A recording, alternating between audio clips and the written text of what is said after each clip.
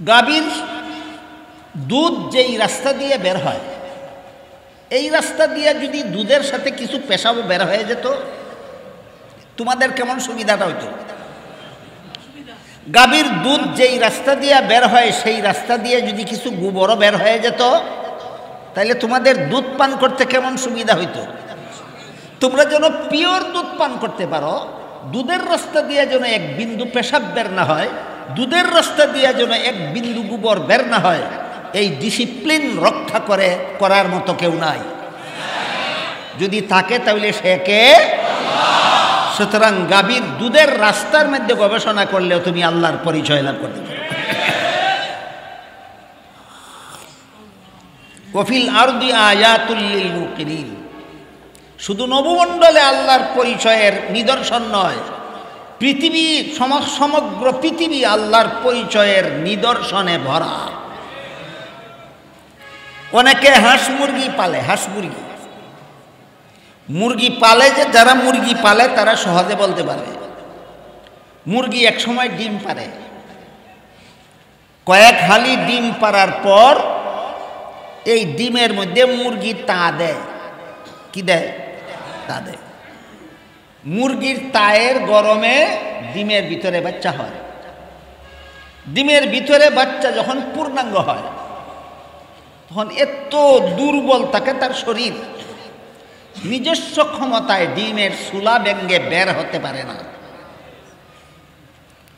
কাজেই মুরগি তার ঠুটের আগাতে ডিমের সুলা ভেঙ্গে দেয় আর বাচ্চা ডিমের ভিতর থেকে বের হয়ে আসে।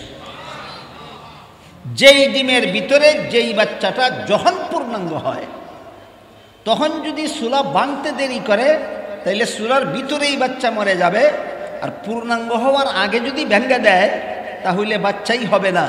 সুতরাং যেই ডিমটার মধ্যে যেই বাচ্চাটা যখনই পূর্ণাঙ্গ হয়, মুরগি তার টুটের আগেতে সেই ডিমের চুলাটা তখনই ব্যঙ্গে দেয়। মুরগি কীভাবে জানে যে এই ডিমটার মধ্যে এখন বাচ্চা পূর্ণাঙ্গ হয়েছে? ওই ডিমটার মধ্যে আগামীকাল পূর্ণাঙ্গ হবে, সেই ডিমটার মধ্যে পরশু পূর্ণাঙ্গ হবে। মুরগির কাছে কোনো এক্স রে মেশিন আছে? তাহলে মুরগির অন্তরে এই অনুভূতি জাগ্রত করে দেওয়ার মতো কেউ নাই।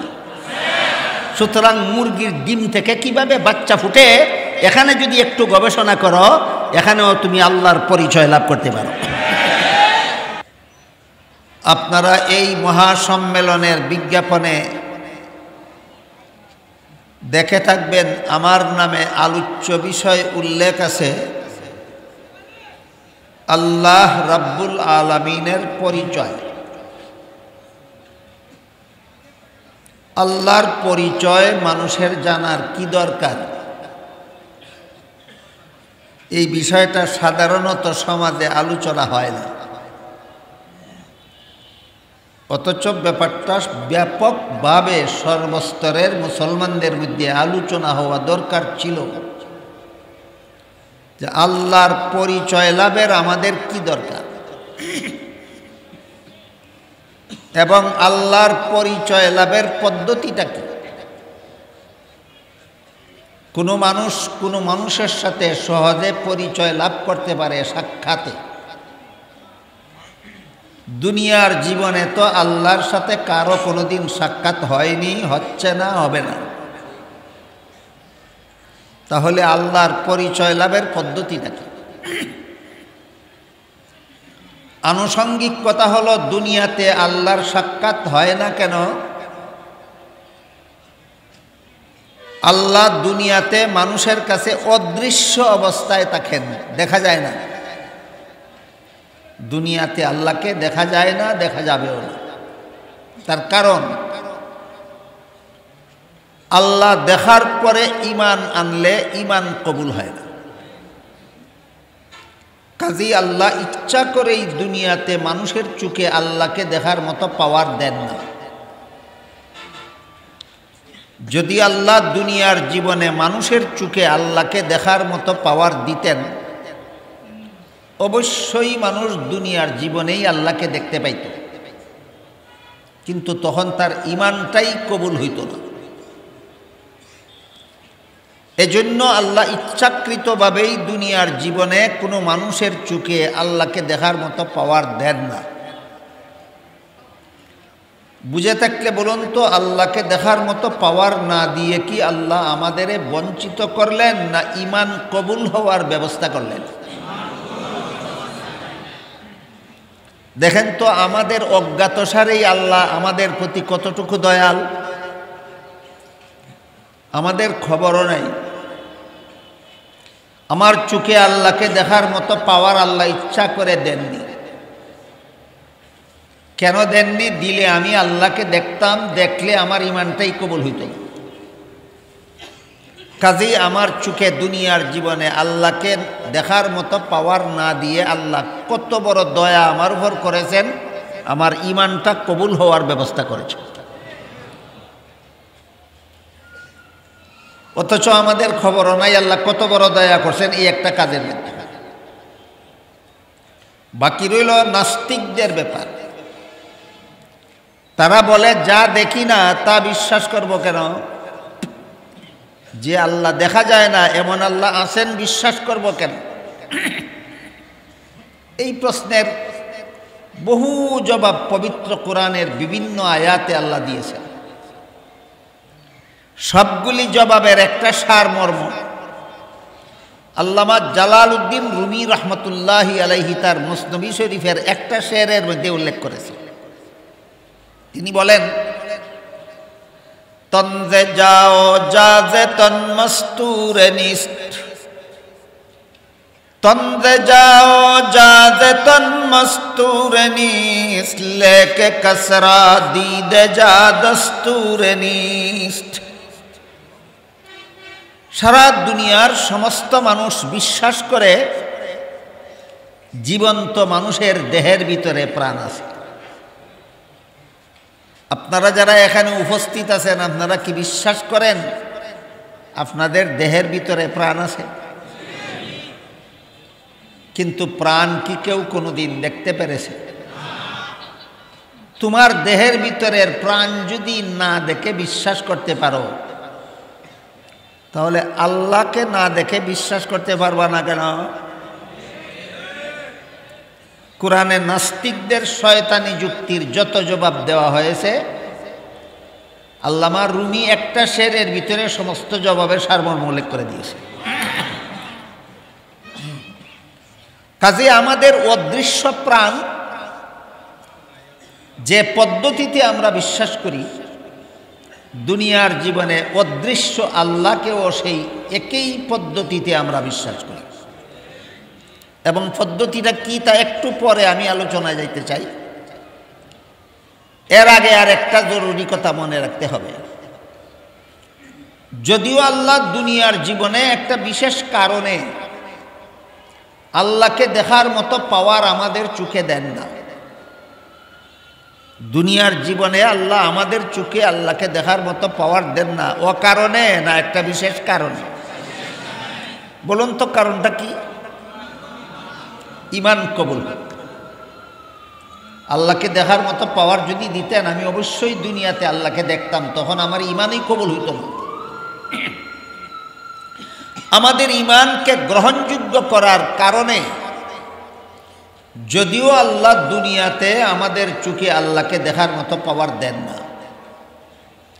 কিন্তু পরকালের জীবনে আল্লাহ সমস্ত মুমিন বান্দাদের চুকে আল্লাহকে দেখার মতো পাওয়ার দিবেন। তখন সমস্ত মুমিন বান্দারা পূর্ণিমার চান চন্দ্রের চেয়েও আরও বেশি পরিষ্কারভাবে আল্লাহকে দেখতে পারবে। কোন জীবনে? পরকালে। এখানে প্রশ্ন জাগে, আমরা তো দেখার আগেই বিশ্বাস করে নিয়েছি তাহলে পরকালে আর দেখার দরকার কি? আপনারা কি দেখার পরে বিশ্বাস করবেন না দেখার আগেই বিশ্বাস করে নিয়েছেন? তাহলে পরকালে আর দেখার দরকার কি? এই প্রশ্নের জবাব হলো, পরকালে মুমিন বান্দারা জান্নাতে যত নিয়ামত উপভোগ করবে, সমস্ত নিয়ামতের উপভোগে যত আনন্দ হবে আল্লাহকে দেখার আনন্দ হবে তার চেয়েও বেশি। সেই আনন্দ থেকে যেন কোনো মুমিন বান্দা পরকালে বঞ্চিত না থাকে, এই জন্য আল্লাহ পরকালে মুমিন বন্দাদের চোখে আল্লাহকে দেখার মতো পাওয়ার দিবেন এবং সমস্ত মুমিন বন্দারা পরকালে আল্লাহকে পূর্ণিমার চন্দ্রের চেয়েও আরও বেশি পরিষ্কারভাবে দেখতে পারবেন। এবার আমরা বোঝার চেষ্টা করি আল্লাহর পরিচয়ের দরকার কি। এটা সহজ প্রশ্ন নয় একটা কঠিন প্রশ্ন। আল্লাহর পরিচয়ের কি দরকার? কঠিন কথাগুলি উদাহরণ উদাহরণের মাধ্যমে বোঝা সহজ হয়। এজন্য আল্লাহর পরিচয়ের দরকার কি, এই কঠিন প্রশ্নের জবাবটাও আমরা একটা উদাহরণের মাধ্যমে সহজে বোঝার চেষ্টা করি। একজন শিক্ষক যদি এমন গুণবান হন যে তিনি যে সমস্ত ছাত্ররা মনোযোগে লেখাপড়া করে, ভালোভাবে লেখাপড়া করে, শিখে এবং পরীক্ষা দিয়ে ভালো নম্বর পেয়ে পাস করে, তাকে এই শিক্ষক অত্যন্ত দয়া মায়া করেন এবং বিরাট পুরস্কার দান করেন। আর যে সমস্ত ছাত্ররা লেখাপড়ায় অবহেলা করে, দুষ্টামি করে এদেরকে শাস্তি দেন। শিক্ষকের এই দুইটা বিশেষণ। শিক্ষকের এই দুইটা দুইটা বৈশিষ্ট্য যদি কোনো ছাত্র জানতে পারে যে আমার শিক্ষকের দুইটা বিশেষণ আছে। একটা হলো মনোযোগে লেখাপড়া করলে তিনি আদর করেন, পুরস্কার দেন। আরেকটা হলো লেখাপড়া না করে দুষ্টামি করলে তিনি শাস্তি দেন। শিক্ষকের এই দুইটা বৈশিষ্ট্য যে ছাত্র জানবে, এই ছাত্র কি লেখাপড়ায় অবহেলা করতে পারবে? এই ছাত্র কি লেখাপড়া ফেলে দুষ্টমি করার সাহস করতে পারবে? কেন? তার শিক্ষক সম্পর্কে তার জানা আছে। যেমনভাবে নিজের শিক্ষককে চিনলে লেখাপড়ায় অবহেলা করতে পারে না, দুষ্টামি করার সাহস করতে পারে না। ঠিক তেমনিভাবে যেই বন্দা আল্লাহর পরিচয় লাভ করতে পারে, যেই বন্দা আল্লাহ সম্পর্কে এতটুকু জানে যে আমার আল্লাহ এত বড় দয়াল যে আমি তার আনুগত্য করলে আমার জন্য অফুরন্ত সুখ শান্তির ঠিকানা জান্নাত তৈরি করে রেখেছে। আর কেউ যদি আল্লাহর অবাধ্য হয়, তাহলে তার শাস্তির জন্য আল্লাহ জাহান্নাম তৈরি করে রেখেছেন। আল্লাহ তার বাদ্যবন্দাকে বিরাট পুরস্কারে পুরস্কৃত করেন।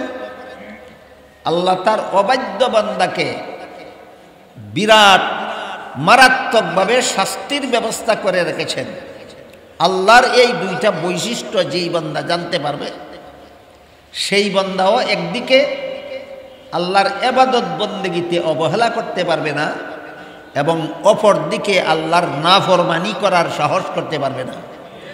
সুতরাং আল্লাহর বাদ্যবান্দা যদি আমাদের হতে হয়, আল্লাহর অবাধ্যতার থেকে যদি বাঁচতে হয়, তাহলে অবশ্যই আল্লাহর পরিচয় আমাদের জানা থাকতে হবে। আল্লাহর পরিচয় জানা, না জানার উপর নির্ভর করে বন্দা আল্লাহর বাধ্য হবে না অবাধ্য হবে। যে যথাযথভাবে আল্লাহর পরিচয় জানে না, সে হবে আল্লাহর অবাধ্য। পরিণামে জাহান নামের শাস্তি ভোগ করবে। আর যে যথাযথভাবে আল্লাহর পরিচয় জানে, সে আল্লাহর অবাধ্য হওয়ার সাহস করতে পারবে না। সে জীবনভর আল্লাহর বাধ্য হয়ে আল্লাহর আনুগত্য করে যাবে এবং তাকে আল্লাহ পাকরাবুল আলমিন জান্নাতের নিয়ামত দ্বারা পুরস্কৃত করবে। সুতরাং আমি আল্লাহর বাধ্য হব না অবাধ্য হব, এটা নির্ভর করে আল্লাহকে চিনা, অচিনার উপর। যে আল্লাহকে চিনে, সে আল্লাহর অবাধ্য হতে পারে না। আর যে আল্লাহর অবাধ্য হয় না, তার জন্য জান্নাত, জান্নাতের ঠিকানা নির্ধারিত। যে আল্লাহকে চিনে না, সেই আল্লাহর অবাধ্য হয়। যে অবাধ্য হয়, তার জন্য জাহান্নামের শাস্তি অবধারিত। আমাদের যদি জাহান্নাম থেকে বাঁচতে হয়, জান্নাত লাভ করতে হয়। আল্লাহর অবাধ্যতা ছেড়ে দিয়ে আল্লাহর বাধ্যগত জীবনযাপন করতে হবে। আর আল্লাহর অবাধ্যতা ছেড়ে দিয়ে আল্লাহর বাধ্য অবস্থায় জীবনযাপন করতে হলে অবশ্য, অবশ্যই আল্লাহকে চিনতে হবে। অবশ্যই আল্লাহকে চিনতে হবে। এবার আমরা বোঝার চেষ্টা করব আল্লাহকে চিনার পদ্ধতি কি? যেহেতু আল্লাহ দেখা যায় না। মানব দেহের ভিতরের ভিতরের আত্মা যেমন দেখা যায় না, কিন্তু তাকে চিনার পদ্ধতি আছে।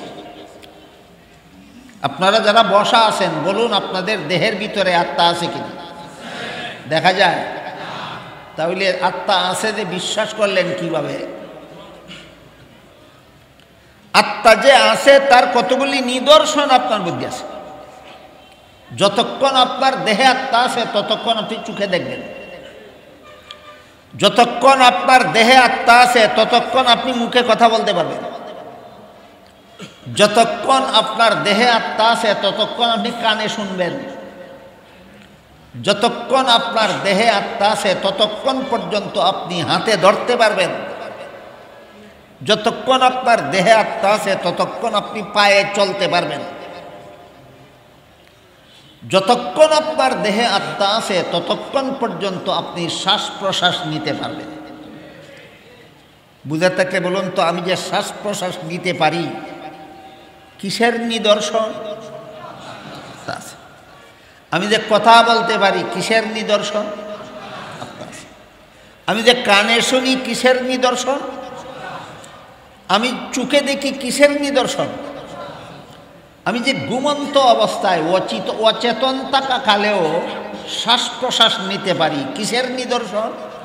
আত্মা আছে যেমনভাবে অদৃশ্য আত্মাকে এই নিদর্শনগুলির দ্বারা পরিচয় করা যায়, ঠিক তেমনিভাবে অদৃশ্য আল্লাহকে পরিচয় করার জন্য আল্লাহ আসমান জমিনের সব কিছুকে নিদর্শন হিসাবে সাব্যস্ত করেছে এমর্মে আল্লাহ পাকরাবুল আলমিন বলেন إن في خلق السماوات والأرض واختلاف الليل والنهار لآيات لأولي الألباب আসমান জমিন সৃষ্টি করার মধ্যে রাত দিনের আবর্তন বিবর্তনের মধ্যে।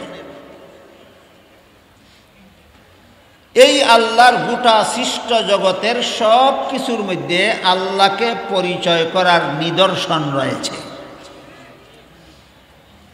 আসমানেও আল্লাহকে চিনার মতো পরিচয়, আল্লাহকে পরিচয় করার মতো নিদর্শন আছে। জমিনেও আল্লাহকে চিনার মতো নিদর্শন আছে।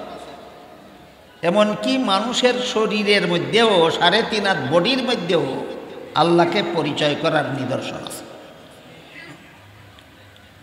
আসমানের নিদর্শনগুলির বিবরণ আল্লাহ কোরআনের বিভিন্ন আয়াতে দিয়েছেন। তোর মধ্যে এক আয়াতে আল্লাহ বলেন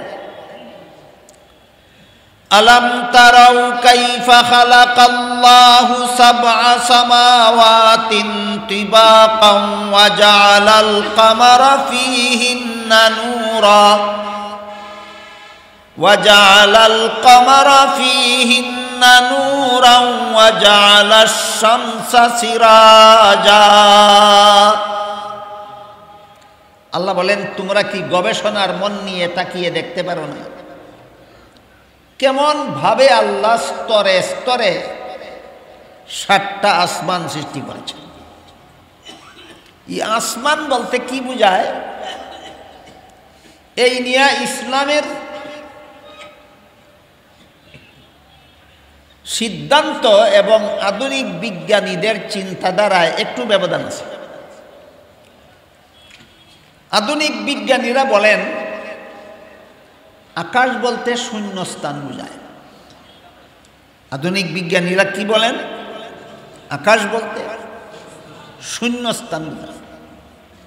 কিন্তু কোরআনে যে সামাউন শব্দটা ব্যবহার করা হয়েছে, যেটাকে আমরা সচরাচর আসমান বলে থাকি, আল্লাহ সবগুলি আয়াতে এই আসমান অর্থবোধক শব্দটাকে শুধু শূন্যস্থান বোঝাবার জন্য ব্যবহার করেন। কোরআনে দুইটা জিনিস বুঝাবার জন্য সামাউন শব্দ ব্যবহৃত হয়েছে। এটা বোঝার জন্য আমাদের পৃথিবীর অবস্থান থেকে নিয়ে আল্লাহর আরস পর্যন্ত এই মহাজগৎটা সম্পর্কে একটু ধারণা থাকতে হবে। আমরা যে পৃথিবীতে বাস করি, এই পৃথিবীটাকে চতুর্দিক থেকে একটা মহাশূন্য ঘেরাও করে আছে। বুঝে থাকলে বলুন তো, আমরা যে পৃথিবীতে বাস করি, এই পৃথিবীটা চতুর্দিক থেকে একটা মহাশূন্যের দ্বারা বেষ্টিত কিনা? মহাশূন্যের দ্বারা বেষ্টিত। এই মহাশূন্যের পৃথিবী বেষ্টনকারী মহাশূন্যের গভীরতা পাঁচ শত বৎসরের রাস্তা। পৃথিবী ত্যাগ করে সুগা উপর দিকে যেতে যেতে যেতে যেতে পাঁচশো বছর গেলে পরে এই মহাশূন্যটা শেষ হবে। বলুন, পৃথিবী ত্যাগ করে সুদা উপর দিকে কতদিন পর্যন্ত যেতে থাকলে মহাশূন্যটা শেষ হবে? এই মহাশূন্য শেষ হলে পরে একটা কঠিন পদার্থ আল্লাহ সৃষ্টি করেছেন, যেই পদার্থটা মহাশূন্যটাকে চতুর্দিক থেকে বেষ্টন করে আছে। পৃথিবী বেষ্টনকারী মহাশূন্যটাকেও কোরআনের ভাষায় আসমান বলা হয়। মহাশূন্য বেষ্টনকারী কঠিন পদার্থটাকেও কোরআনের ভাষায় আসমান বলা হয়। তাইলে কোরআনের ভাষায় আসমান শব্দ বলতে শুধু মহাশূন্য বোঝায় না, মহাশূন্য বেষ্টনকারী আরেকটা জগত বুঝায়। মহাশূন্য বেষ্টনকারী আরেকটা জগত বুঝায়। সেই জগতের সন্ধান দুনিয়ার কোনো বিজ্ঞানীদের কাছে নাই। সেই জগতের সন্ধান দুনিয়ার কোনো বিজ্ঞানীদের কাছে নাই কেন? পৃথিবী ত্যাগ করে সুদা উপর দিকে যেতে থাকলে কতদিন পর্যন্ত গেলে ওই জগতের জগতে জগতে পৌঁছা যাবে? কোনো বিজ্ঞানী পাঁচশো বছর বাসে নাকি? যতদিন বাসে ততদিনে পৃথিবী বেষ্টনকারী মহাশূন্যই পার হতে পারে না। যেহেতু নাগাল পায় না, এই জন্য বলে নাই। আসলেই নাই না নাগাল না পাওয়ার কারণে বলে নাই। নাগাল না পাওয়ার কারণে। এবার আসুন আপনাদের নবী মোহাম্মদুর রসুল্লাহ সাল্লাহ আলহি ওসাল্লামও মহাশূন্যের ভ্রমণে গিয়েছিলেন কোনোদিন? কবে? মেরাজে জিব্রিল ফিরিস্তা নবীকে নিয়ে বুড়াকে আরোহণ করলেন। পাঁচশো বছরের রাস্তা কয়েক মুহূর্তের মধ্যে পার হয়ে গেল। গিয়েই সেখানের গেইটে উপনীত হলেন। জিব্রিল ফিরিস্তা গেইটে করাঘাত করলেন। টক টক টক টক করে আওয়াজ দিলেন। সেই গেইটের পাহারাদার ফিরিস্তা জিজ্ঞেস করল, কে আপনি? জিব্রিল বলেন, আমি জিব্রিল। ফিরিস্তা জিজ্ঞেস করেন, আপনার সাথে কে? জিব্রিল বলেন, আমার সাথে মোহাম্মদুর রসুল্লাহ সাল্লা পাহারাদার ফিরিস্তা বলেন, আপনি যে মুহাম্মদুর রসুল্লাহকে সাথে নিয়ে এসেছেন, মুহাম্মদুর রসুল্লাহকে আসমানের উপরে নিয়ে যাওয়ার কোনো পারমিশন আছে? জিব্রিল বলেন, শুধু পারমিশন নয়, আল্লাহর পক্ষ থেকে স্পেশালভাবে দাওয়াত করার কারণে সাথে নিয়ে এসেছে। তখন দারোয়ান ফিরিস্তা গেট খুলে দিলেন। সর্ব, সৃষ্টির শ্রেষ্ঠ মহামানবকে যদি সেই জগতে প্রবেশ করতে হলে জিবরিলের সাহচর্য লাগে, আল্লাহর পক্ষ থেকে স্পেশালভাবে পারমিশন লাগে। তাহলে কোন বিজ্ঞানী ওই জগতে যন্ত্রের অভিযানেই প্রবেশ করতে পারে? এই জন্য মুফাসিরিন কেরাম বলেন, আধুনিক বিজ্ঞান যেখানে গিয়ে শেষ হয়ে যায়, কোরআনের মহাবিজ্ঞান সেখান থেকে শুরু হয় মাত্র। আমি কি আপনাদেরকে বুঝাতে পারলাম বিজ্ঞানীরা আসমান বলতে শুধু শূন্যস্থান বলে কেন? আরেকটা জগৎ বিশ্বাস করে না কেন? নাগাল পায় না। আরেকটা জগৎ আরেকটা জগৎকে আসমান বলা হয়। এটা বিশ্বাস করে না কেন? না জানতে এইরকম স্তরে স্তরে সাতটা মহাশূন্য আছে। প্রত্যেকটা মহাশূন্যের গভীরতা পাঁচশো বছরের রাস্তা। প্রতিটি মহাশূন্য বেষ্টনকারী সাতটা কঠিন পদার্থ আছে। ওইটাকে যেটাকে আলাদাভাবে আসমান বলা হয়।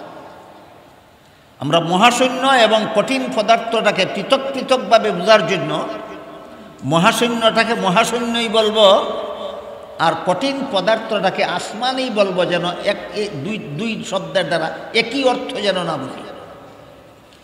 সাতটা মহাশূন্যকে বেষ্টনকারী সাতটা আসমান আছে। প্রথম মহাশূন্যকে প্রথম আসমান বেষ্টন করে আছে। তারপরে দ্বিতীয় মহাশূন্য, সেটার গভীরতা আরও ভাষ্য বছরের রাস্তা। ওইটাকে দ্বিতীয় আসমান চতুর্দিক থেকে বেষ্টন করে আছে। এইভাবে প্রত্যেকটা মহাশূন্যের গভীরতা পাঁচশত বৎসরের রাস্তা আর প্রত্যেকটা আসমানের গভীরতাও পাঁচশত বৎসরের রাস্তা। সর্বমোট এই সাত মহাশূন্য আর সাত গভীর, সাত আসমানে সাড়ে তিন হাজার, সাড়ে তিন হাজার, সাত হাজার বৎসরের রাস্তা। সবগুলিকে চতুর্দিক থেকে আল্লাহর আরস বেষ্টন করেছে। এই হলো পৃথিবীর থেকে আরস পর্যন্ত এই জগতের অবস্থান এটা বুঝলে পরে এবার আমরা বুঝব আল্লাদে আসমানে যে আল্লাহ চিনার নিদর্শন আছে বলতে গিয়ে আল্লাদে বলেন, আলম তারাউ কাইফা খালাকাল্লাহু সাবআ সামাওয়াতিন তিবাকাও ওয়া জাআলাল কামারা ফীহিন্না নূরান ওয়া জাআলাশ শামসা সিরাজা। তোমরা কি গবেষণার মন নিয়ে দেখতে পারো না? কেমনভাবে আল্লাহ স্তরে স্তরে সাতটা আসমান সৃষ্টি করেছেন। সাতটা মহাশূন্য সৃষ্টি করেছেন। এর মধ্যে সর্বনিম্নতম মহাশূন্যে পৃথিবীর অন্ধকার দূর করার জন্য আল্লাহ কতগুলি বাতি আর কতগুলি জ্যোতি সৃষ্টি করেছেন। এর মধ্যে দৃশ্যমান সবচেয়ে বড় বাতিটা হইল সূর্য। আর দৃশ্যমান সবচেয়ে বড় জ্যোতিটা হইল চন্দ্র। তোমরা গবেষণার মন নিয়ে তাকিয়ে দেখো, সূর্যের দিকে তাকালেও আল্লাহর পরিচয় লাভ করতে পারবে, চন্দ্রের দিকে তাকালেও আল্লাহর পরিচয় লাভ করতে পারবে। এখানে শুধু এতটুকু বলছেন অন্যখানে গিয়ে বলেন والشمس تجري لمستقر لها ذلك تقدير العزيز العليم والقمر قدرناه منازل حتى عاد كالعرجون القديم لا الشمس ينبغي لها أن تدرك القمر ولا الليل سابق النهار وكل في فلك يسبحون আল্লাহ বলেন আল্লাহ চিনার যত নিদর্শন আছে এর মধ্যে একটা নিদর্শন সূর্য আল্লাহ চিনার যত নিদর্শন আছে এর মধ্যে একটা নিদর্শন আধুনিক বিজ্ঞানীরা বলেন এই আকাশের ঝুলন্ত সূর্যটা সূর্যটা পৃথিবীর থেকে তেরো লক্ষ গুণ বড় বিজ্ঞানীদের উক্তিমতে সূর্যটা পৃথিবীর থেকে কত বড়? তেরো লক্ষ গুণ।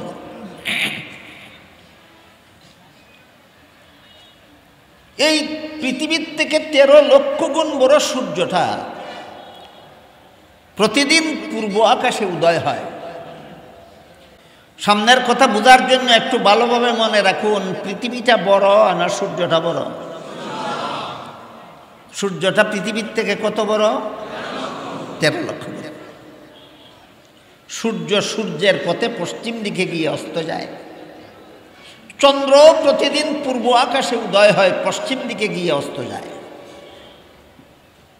সূর্যেরও পৃথিবীর মানুষের মাথার উপর দিয়ে যাওয়ার একটা সুনির্দিষ্ট পথ আছে। চন্দ্রেরও একটা সুনির্দিষ্ট পথ আছে। কিন্তু পৃথিবী বেষ্টনকারী মহাশূন্যের ভিতরেই চলাচল করে সূর্য ও মহাশূন্যের একই মহাশূন্যে চলাচল করে চন্দ্র। অথচ কোনোদিন সূর্যের সাথে চন্দ্রের কোনো টক্কর লাগে না। চন্দ্রের সাথে সূর্যের কোনো ঘর্ষণ লাগে না। কোনোদিন সূর্য পথ হারিয়ে পূর্বাকাশে উদয় না হয়ে দক্ষিণ আকাশে উদয় হয় না। কোনোদিন চন্দ্র পথ হারিয়ে পশ্চিম আকাশে অস্ত না গিয়ে উত্তর আকাশে অস্ত যায় না। কোনোদিন দুর্ঘটনা ঘটে না অ্যাক্সিডেন্ট হয় না, টক্কর লাগে না। অথচ তোমরা মানুষেরা যেই সমস্ত যানবাহন চালাও, বলুন তো মানুষ যে সমস্ত যানবাহন চালায়, এইগুলির মধ্যে দুর্ঘটনা ঘটে কিনা? অ্যাক্সিডেন্ট হয় কিনা? হয়। যেদিন অ্যাক্সিডেন্ট হয়, সেদিন গাড়িতে কোনো চালক থাকে না। চালক থাকা সত্ত্বেই অ্যাক্সিডেন্ট হয়। তোমরা যেগুলি চালাও, এগুলির মধ্যে চালক থাকা সত্ত্বেও দুর্ঘটনা হয়, টক্কর লাগে, ঘর্ষণ লাগে, দুর্ঘটনা ঘটে। এই যে সূর্য প্রতিদিন উদয় হয়, অস্ত যায়, নির্ধারিত গতিতে চলে, কোনোদিন চন্দ্রের সাথে টক্কর লাগে না সূর্যের, কোনোদিন চন্দ্রের সাথে সূর্যের ঘর্ষণ লাগে না। যদি চন্দ্র সূর্য টক্কর লাগতো, আর সূর্যটা ব্যঙ্গে যদি টুকরা টুকরা হইয়া তেরো লক্ষ টুকরা হইত। সমানভাবে যদি তেরো লক্ষ টুকরা হইত, তাহলে একটা টুকরা হইতো পৃথিবীর সমান। একটা টুকরা হইতো একটা টুকরা যদি পৃথিবীতে তোমাদের মাথার উপর পড়ত, তোমার, তোমাদের দশাটা কি হতো তাহলে কোনোদিন চন্দ্রের সাথে টক্কর লেগে টুকরা টুকরা হয় না। কোনো একটা টুকরা পৃথিবীতে তোমার, তোমাদের মাথার উপর পড়ে না, কোনো চালক না থাকার কারণে। জালিকা তাকবীরুল আজিজুল আলিম, মহাজ্ঞানী, মহাকৌশলী, আল্লাহ পাক রব্বুল আলমিনের পরিচালনার কারণে, নিয়ন্ত্রণের কারণে চন্দ্র, সূর্য কোনোদিন দুর্ঘটনা ঘটে না। সুতরাং সূর্য আল্লাহর একটা পরিচয়। চন্দ্র আল্লাহর একটা বুঝে তাকে বলুন তো, আল্লাহ আকাশ জগতে আল্লাহর, আল্লাহকে পরিচয় করার মতো অনেকগুলি নিদর্শন দেখেছেন কিনা অনেকগুলি নিদর্শন দেখেছেন। আবার দেখুন, চন্দ্র সম্পর্কে আল্লাহ ফাকরাবুল আলমিন বলে يسألونك عن الأهلة قل هي مواقيت للناس والحج হে রসুল করিম সাল্লাহ ইসলাম লোকেরা আপনাকে চন্দ্র সম্পর্কে জিজ্ঞেস করে কি জিজ্ঞেস করে যে সূর্য তো সর্বদা একই আকারে থাকে গোলাকৃতি অবস্থায় থাকে কিন্তু চন্দ্র তো সর্বদা একই আকারে থাকে না আপনারা কি জানেন, চন্দ্র কি সূর্যের মতো সর্বদা একই আকারে থাকে না আকার পরিবর্তন হয়? লোকেরা জিজ্ঞেস করে আপনাকে, চন্দ্রের আকার কেন পরিবর্তন হয়? আল্লাহ ফাকরাবুল আলমিন জবাবে বলেন, চন্দ্রের আকৃতির পরিবর্তন পরিবর্তনের মাধ্যমে সারা দুনিয়ার মানুষকে আমি চন্দ্রটাকে একটা ইন্টারন্যাশনাল ক্যালেন্ডার বানাইয়া দিছি। যেদিন সূর্য চন্দ্র প্রথম উদয় হলো এর পরের দিন মাসের প্রথম তারিখ। তারপরের দিন দ্বিতীয় তারিখ, তারপরের দিন তৃতীয় তারিখ, যেতে যেতে যেতে যেতে। উনত্রিশ তারিখে যদি আরেকটা নূতন চন্দ্র উদয় হয়, সারা পৃথিবীর মানুষ জানতে পারে মাসটা উনত্রিশা। আর উনত্রিশ তারিখে যদি আরেকটা নূতন চন্দ্র উদয় না হয়, সারা পৃথিবীর মানুষ জানতে পারে মাসটা ত্রিশা। এইভাবে চন্দ্রকে পরিবর্তন পরিবর্তন সিস্টেমে পরিচালনা করে আমি দুনিয়াবাসী মানুষের জন্য চন্দ্রকে ইন্টারন্যাশনাল ক্যালেন্ডার বানাইছি। চন্দ্র পরিবর্তন হয় বেশ কম হয়। কার কথায়? কোনো আল্লাহ নাই, এই জন্য। না, একজন পরিচালক আছেন সেই জন্য সেই পরিচালক হলেন একমাত্র আল্লাহ। সুতরাং আল্লাহ বলেন, সূর্য যেমন আল্লাহর পরিচয়ের একটা নিদর্শন ঠিক তেমনিভাবে চন্দ্রও আল্লাহর পরিচয় লাভ করার একটা নিদর্শন। গেল আসমান জগতের ব্যাপার। সারা রাত বললেও শেষ হবে না। সামান্য সামান্য আবার দিচ্ছি। এবার আসুন জমিনের ব্যাপার। আল্লাহ বলেন, ওয়াফিল আরদি আয়াতুল লিল মুকিনিন। ওয়াফি আনফুসিকুম আফালা তুবসিরুন। নবমণ্ডলে তো আল্লাহকে পরিচয় করার বহু নিদর্শন আছে। ভূমণ্ডলে পৃথিবীতেও আল্লাহকে পরিচয় করার বহু নিদর্শন আছে। পৃথিবীতেও আল্লাহকে পরিচয় করার বহু নিদর্শন আছে। আমি দুঃখিত, আমার হাতে এতটা লম্বা সময় নাই। আপনারা বিষয়বস্তুতে উল্লেখ করে দিয়েছেন, আল্লাহ রাব্বুল আলমিনের পরিচয়। আল্লাহর আরেকটা বিশেষণ রব্বুল আলমিন। আল্লাহ রব্বুল আলমিন কীভাবে, এটাও এক স্বয়ং সম্পূর্ণ আলোচ্য বিষয়। আমি সেই বিষয় জানি না আজকে অবতারণা করতে পারব কিনা। আগে জমিনের কিছু নিদর্শন আপনাদেরকে শোনাই। আমরা অনেকেই গরু পালি, ছাগল পালি, গরুকে গাবিকে ঘাস খাওয়াই। এই ঘাস গাবি জমি আসমানে গিয়া খায়। না, জমিনেই ফলে। গাবিও জমিনে লালিত পালিত হয়, গাভীর খাদ্য ঘাসও জমিনেই ফলে। এই যে গাবি ঘাস খাইল, তার পেটের ভিতরে ঘাস গিয়া এক অংশ গোবর হইয়া এক রাস্তা দিয়া বের হয়ে গেল। আর এক অংশ পেশাব হইয়া আরেক রাস্তা দিয়া বের হয়ে গেল। আরেক অংশ রক্ত হইয়া সমস্ত শরীরে সাপ্লাই হইল। এই গাছের আরেক অংশ দুধ হইয়া আরেক রাস্তা দিয়া গিয়া আপনার দুহন করার অপেক্ষায় অপেক্ষমান কটা জিনিস খাইছিল আর কটা জিনিস হইল? একটা জিনিস খাইছিল, চারটা জিনিস হইল। চারটা এক রাস্তায় বের হয় না চার রাস্তায়? আপনি তো এক রাস্তায় ঢুকাইলেন এটা চার রাস্তায় বের করে দিল কে? যেহেতু যেহেতু কোনো পরিচালক নাই। তাহলে গাভীর মধ্যে গবেষণা করলেও আল্লাহর পরিচয় পাওয়া যায়।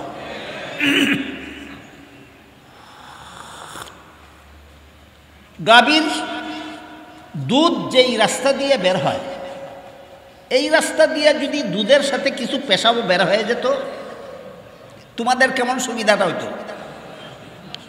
গাভীর দুধ যেই রাস্তা দিয়ে বের হয়, সেই রাস্তা দিয়ে যদি কিছু গোবরও বের হয়ে যেত তাহলে তোমাদের দুধ পান করতে কেমন সুবিধা হইতো?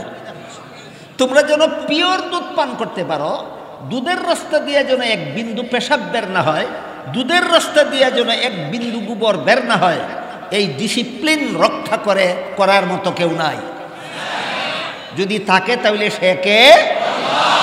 সুতরাং গাভীর দুধের রাস্তার মধ্যে গবেষণা করলেও তুমি আল্লাহর পরিচয় লাভ করতে পারো। কফিল আরদি আয়াতুল্লিল মুকিরিন শুধু নবমণ্ডলে আল্লাহর পরিচয়ের নিদর্শন নয়, পৃথিবী সমগ্র পৃথিবী আল্লাহর পরিচয়ের নিদর্শনে ভরা। অনেকে হাঁস মুরগি পালে, হাঁস মুরগি। মুরগি পালে যে, যারা মুরগি পালে তারা সহজে বলতে পারবে মুরগি এক সময় ডিম পারে। কয়েক হালি ডিম পারার পর এই ডিমের মধ্যে মুরগি তা দেয়। কি দেয়? তা দেয়। মুরগির তায়ের গরমে ডিমের ভিতরে বাচ্চা হয়। ডিমের ভিতরে বাচ্চা যখন পূর্ণাঙ্গ হয়, তখন এত দুর্বল থাকে তার শরীর। নিজস্ব ক্ষমতায় ডিমের সুলা ব্যঙ্গে বের হতে পারে না। কাজেই মুরগি তার ঠুটের আগাতে ডিমের সুলা ভেঙ্গে দেয় আর বাচ্চা ডিমের ভিতর থেকে বের হয়ে আসে। যেই ডিমের ভিতরে যেই বাচ্চাটা যখন পূর্ণাঙ্গ হয়, তখন যদি সুলা বাঁধতে দেরি করে তাহলে সুলার ভিতরেই বাচ্চা মরে যাবে। আর পূর্ণাঙ্গ হওয়ার আগে যদি ভেঙ্গে দেয়, তাহলে বাচ্চাই হবে না। সুতরাং যেই ডিমটার মধ্যে যেই বাচ্চাটা যখনই পূর্ণাঙ্গ হয়, মুরগি তার টুটের আগেতে সেই ডিমের চুলাটা তখনই ব্যঙ্গে দেয়। মুরগি কীভাবে জানে যে এই ডিমটার মধ্যে এখন বাচ্চা পূর্ণাঙ্গ হয়েছে, ওই ডিমটার মধ্যে আগামীকাল পূর্ণাঙ্গ হবে, সেই ডিমটার মধ্যে পরশু পূর্ণাঙ্গ হবে। মুরগির কাছে কোনো এক্স রে মেশিন আছে? তাহলে মুরগির অন্তরে এই অনুভূতি জাগ্রত করে দেওয়ার মতো কেউ নাই।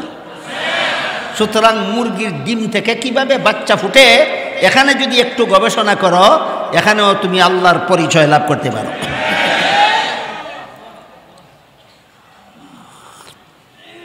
এবার আসুন আপনারা যারা কৃষি কাজ করেন এখানে কি কোনো কৃষক নাই? আপনি কি কি করেন? আপনি ক্ষেতের আগাছা পরিষ্কার করেন, আপনি হাল চাষ করেন, আপনি পানি সেচ করেন, সার গোবর দেন, আর দানের বীজগুলি ছিটিয়ে ফেলেন। এই পর্যন্ত আপনার কাজ শেষ। তারপর দানের বীজে অঙ্কুর গজায় কে? শিকড় গজায় কে? শিকড় যদি উপর দিকে যাইতো আর অঙ্কুর যদি নিচ দিকে যাইতো, গাছ হইতো না, ফসল ফলতো না। শিকড়কে নিচের দিকে নিয়ে যায় কে? অঙ্কুর উপর দিকে নিয়ে যায় কে? অঙ্কুরের মধ্যে লতা ফাতা গজাইয়া দেয় কে? তার মধ্যে ধানের সরা সৃষ্টি করে কে? সরার মধ্যে দানাগুলি সৃষ্টি করে কে? দানার ভিতরে দুধের মতো সাদা পানি সৃষ্টি করে কে? ওই পানিটাকে শক্ত করে চাউল বানিয়ে দেয় কে? চাউলটা শক্ত হইল না, নরম রইল। বুঝার জন্য দুইটা রঙের সিগন্যাল আছে। একটা সবুজ রঙের সিগন্যাল আর একটা হলুদ রঙের সিগন্যাল যতক্ষণ পর্যন্ত দানের দানাটা দানাটা সবুজ রঙের থাকে, তখন কৃষক বুঝতে পারে এখনও দান কাটার সময় হয়নি। যখন সোনালি রং ধারণ করে, তখন কৃষক বুঝতে পারে, এর ভিতরে চাউলটা শক্ত হয়ে গেছে, এখন দেওয়া যাবে, মারানো যাবে, অসুবিধা হবে না। এই সিগন্যাল সিস্টেম করার মতো কেউ নাই। থাকলে তিনি কে? সুতরাং তোমার গৃহস্থিটা কীভাবে হয়? এটা চিন্তা করলেও তুমি আল্লাহর পরিচয় লাভ করতে পারো এমর্মে আল্লাহ ফাকরাবুল আলমিন বলেন أأنتم تزرعونه أم نحن الزارعون আমি আল্লাহর পরিচয় যদি লাভ করতে চাও একটু চিন্তা করে দেখো গৃহস্থী তুমি তোমরা করো না আমি করি আমি আল্লাহর পরিচয় যদি লাভ করতে চাও, তাহলে একটু চিন্তা করে দেখো, তোমার কৃষিকাজটা সম্পূর্ণ তুমিই করো না মূল মূল কৃষিকাজটা আমি আল্লাহই করি? আমি করি। সুতরাং তোমার কৃষিকাজের মধ্যে চিন্তা গবেষণা করলে আমি আল্লাহর পরিচয় লাভ করতে পারি এরপরে আল্লাহ বলেন ওয়াফি আনফুসিকুম আফালা তুবসিরুন তোমাদের নিজেদের দেহের মধ্যে চেয়ে দেখো, আমি আল্লাহর নিদর্শন পাইবা।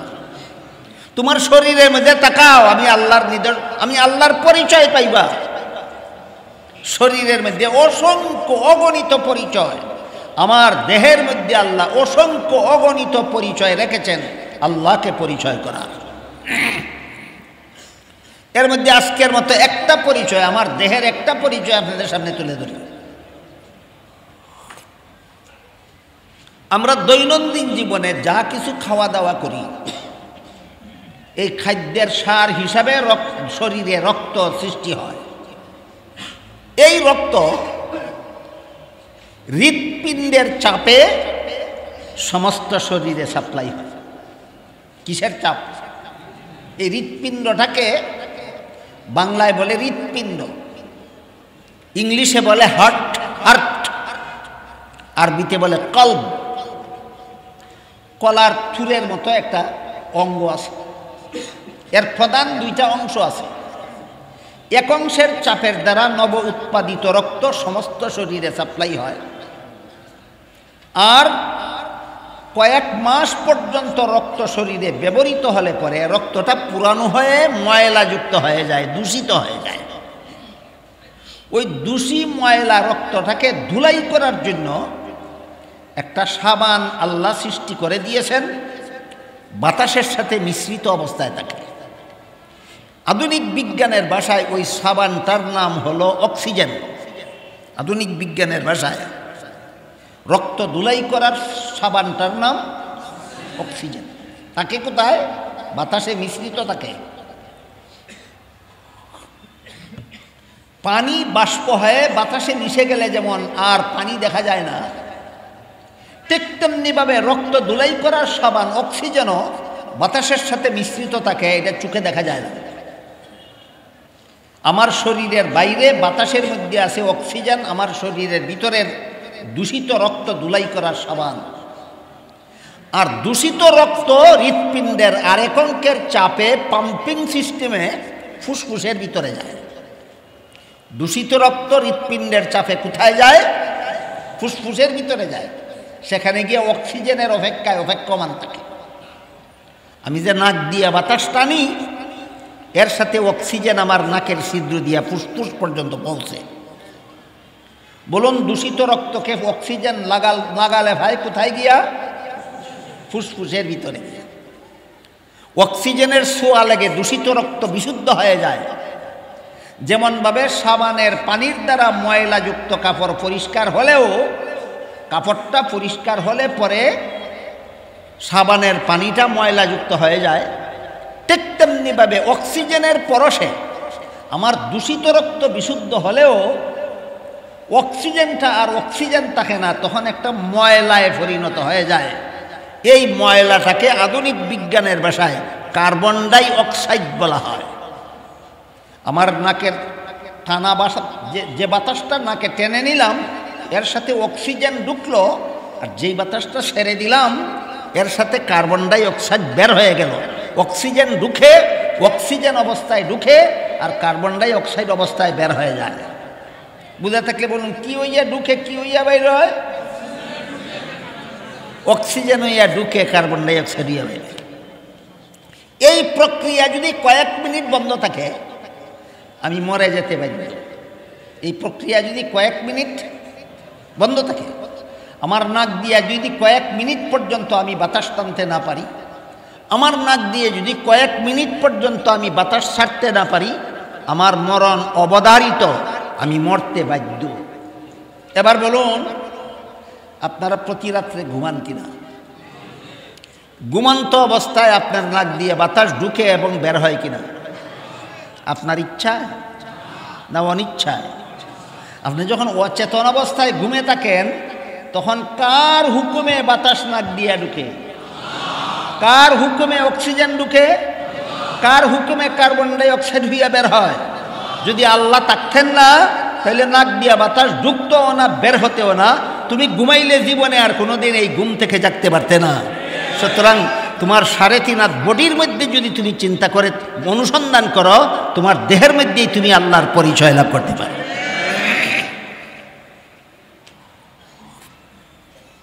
দুঃখিত আমি। আল্লাহ বলেন, আসমান জুড়া আসমান জুড়া, আল্লাহর নিদর্শনে ভরা। জমিন জুড়া তোমার আল্লাহর নিদর্শনে ভরা, তোমার দেহের মধ্যে অগণিত নিদর্শনে ভরা। এক রাত্রে কটা বলবেন। আজকের মতো আসমানের কিছু উদাহরণ, জমিনের কিছু উদাহরণ, আর আমাদের দেহের একটা উদাহরণ দিলাম। বাকি যে রব্বুল রব্বুল আলমিন আপনারা বলেছেন, এই এই মর্মে এক দুইটা কথা বলে আমার কথা শেষ করি। রব শব্দের অর্থ আমরা বাংলায় বলে থাকি প্রতিপালক। কিন্তু প্রতি শব্দে এই অর্থের দ্বারা তার মর্ম উদ্ধার হয়। রব শব্দের মর্ম হল যিনি জগতের সকল কিছুকে ক্রমান্বয়ে প্রতিপালন করতে করতে তার লক্ষ্যবস্তু পর্যন্ত পৌঁছে দেন তাকে রব বলা হয়। এক কথায়, যিনি সকল চাহিদা পূরণের মালিক, রব জগৎবাসীর সকল চাহিদা পূরণের মালিক যিনি, তার নাম রব। সমস্ত জগৎবাসীর সকল চাহিদা পূরণের মালিক যিনি, তার নাম রব। এই আলামিন শব্দের অর্থই সমগ্র জগৎ। সমগ্র জগতে যা কিছু আছে, সব কিছুর সকল প্রকার চাহিদা পূরণের মালিক আল্লাহ। এর মধ্যে আমরা যে প্রতিপালক বলে থাকি, এই লালন পালনের সাথে সম্পর্ক আছে তিন জাতির। তিন জাতির খাদ্য গ্রহণ করতে হয়। মানুষের খাদ্য গ্রহণ করতে হয়, সুযোগ না পেলে মানুষ মরতে বাধ্য। জীবজন্তুর খাদ্য গ্রহণ করতে হয়। গ্রহণ করতে না পারলে জীবজন্তু মরতে বাধ্য। গাছপালার খাদ্য গ্রহণ করতে হয়। খাদ্য গ্রহণ করতে না পারলে গাছপালা মরতে বাধ্য। আমার কথা বুঝে থাকলে বলুন, কত জাতির খাদ্যের দরকার? তিন জাতি। তিন জাতির যোগ্যতা তিন রকম। প্রত্যেক জাতিকে যোগ্যতা অনুপাতে আল্লাহ খাদ্য পরিবেশন করে থাকে সবাইকে এক পদ্ধতিতে খাদ্য পরিবেশন করেন না যার যার যোগ্যতা অনুপাতে।